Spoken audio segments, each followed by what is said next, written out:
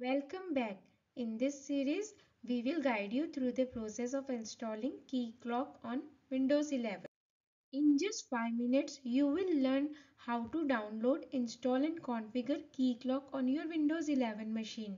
We will walk you through each stage, ensuring you have a smooth and successful installation experience. Keycloak is open source identity and access management solution that provides centralized authentication, authorization and user management for your applications. Go to the browser and type Keycloak. The first one is the official website. Click on this one. Here you can see the download option one in the front page and another from the main menu. So you can choose any of this one. I'm choosing the download from the browser and here you can see the options like server client adapters so first click on this download and here you can see the two options the zip and the tar. The zip is a good options because you just have to click uh, on unzip and you can proceed. As you can see the download has started. It will take a while. Go to this location open file and from here we can extract the file. So let's extract this.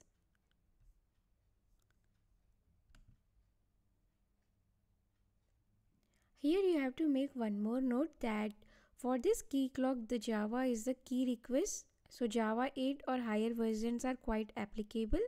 I am using java 19 for my Keycloak installation. Once the extraction is complete click on this one and here you can see the readme file. Click on this one.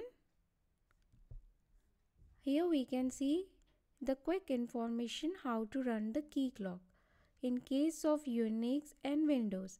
So for windows we have to navigate to the bin location and run the kc.bat file. And for running this in development mode we have to just run from the bin location while running this batch file with start dev. So let's see how it can be done. So once we navigate to this bin location, we can see here there are three windows batch file. One is related to the KC as we have seen. Another one is for admin purpose and the third one is for registration. So let's navigate to this folder From the command prompt, open this location and type here kc.bat. As you can see, it is asking to run for which environment you are interested for the development or the testing and you can provide the specific options. So let's copy the first one and type here. It will take a while to do the configuration.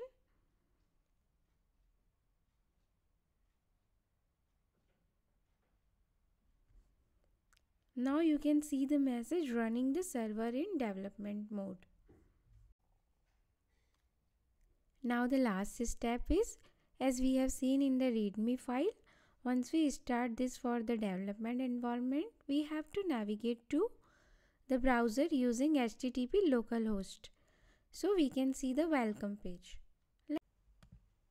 Let's type localhost 8080. So this is the welcome page for Keycloak.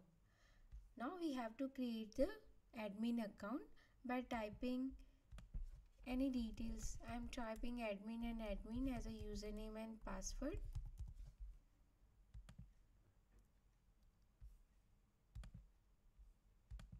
You don't need to save this thing. As you can see this message admin has been created successfully.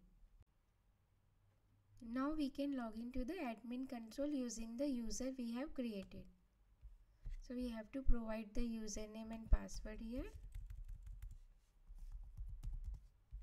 and click on sign in. As you can see this is the admin console and we can take it further from here. Thank you for watching. Please subscribe to support us.